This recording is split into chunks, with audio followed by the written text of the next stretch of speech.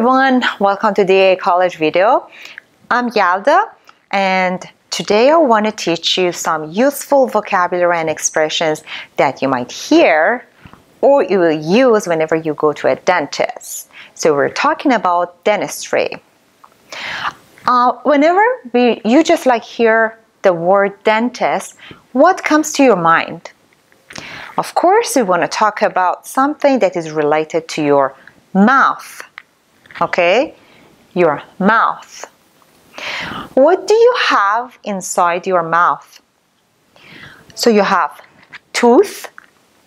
Just pay attention how I pronounce it. Tooth.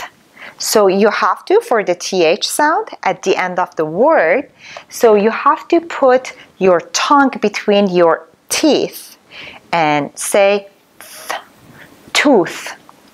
And the plural, so when you have just one tooth, so you say tooth. If it is more than that, two, three, and more, so you have to say teeth. So you will have tooth in your mouth. You have, if you're a baby, so just like kids, they have milk tooth or baby tooth. And so you will lose them, right?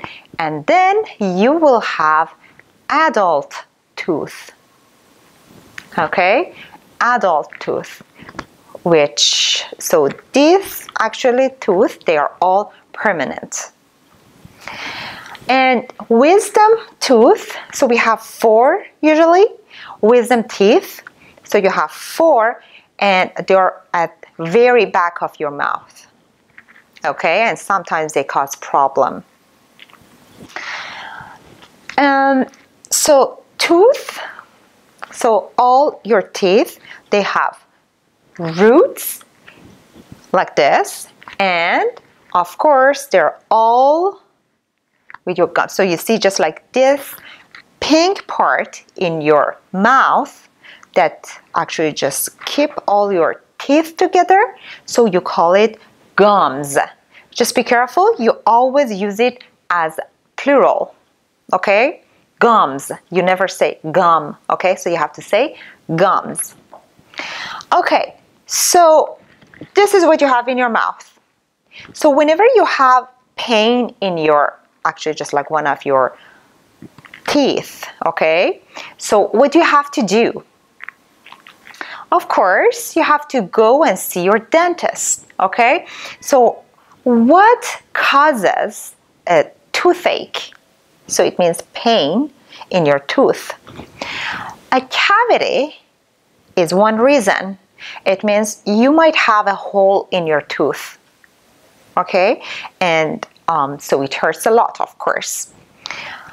Or you can say, I have a cavity or I have a rotten tooth.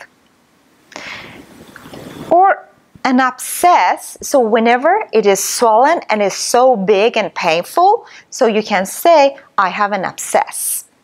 So you have to go and see a dentist. Sometimes your tooth might be broken, so you can say, my tooth is chipped.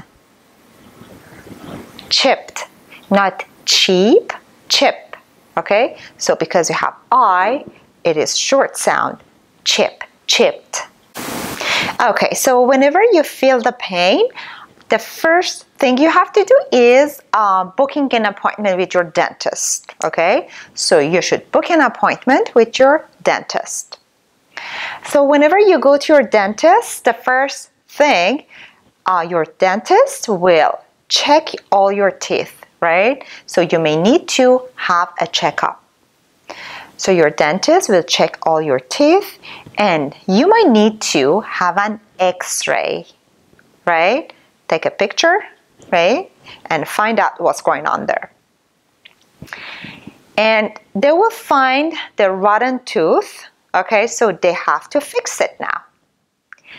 What the dentist will do, the first thing to have an injection of local anesthesia. Local, it means just in that part, okay? Not everywhere in your mouth, just the part that to be uh, fixed. Okay, so you will get or you will have an injection of a local anesthesia.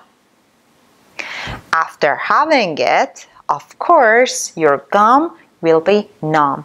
Just be careful. So this is how we write it, but we don't pronounce b, right? You say numb. Okay, after that, so your dentist will start fixing your tooth. For fixing your tooth, they have to drill your tooth, okay? They have to drill it and you might need to have a filling after that drilling. You need a filling to feel your tooth. If it is very bad and it just like damage your root, so you might need to get a treatment, root canal treatment. So after doing the root canal, they usually use a crown or a cap to support and protect your tooth from just like being broken, right? Because your tooth will be very, very fragile after root canal treatment. So for protecting it, so you need to have a crown or a cap. If it is very, very bad and there is no way to fix it, probably your dentist should extract extract your tooth or pull the tooth out. Okay? So extract your tooth. So you know just like before all the things, the best thing is just like go and see your dental hygienist every year to do or maybe every six months to do the cleaning, right? And uh, for bleaching, some people they like to bleach their teeth to make it whiter. And so of course you have to brush your teeth regularly and floss your teeth then you won't need a dentist. I hope you enjoyed this lesson. Uh, you can subscribe to our YouTube channel, DEA Education Center, and whenever we upload a video, you will be notified and you can watch it there. We have 70 something, 74 probably videos there, so you can go there and watch them all. You can also join our Telegram channel. I um, actually post daily all the lessons there and uh, I'm gonna just like put the address of the telegram in the comment area so you can go there and join thank you for watching this again. See you in the next lesson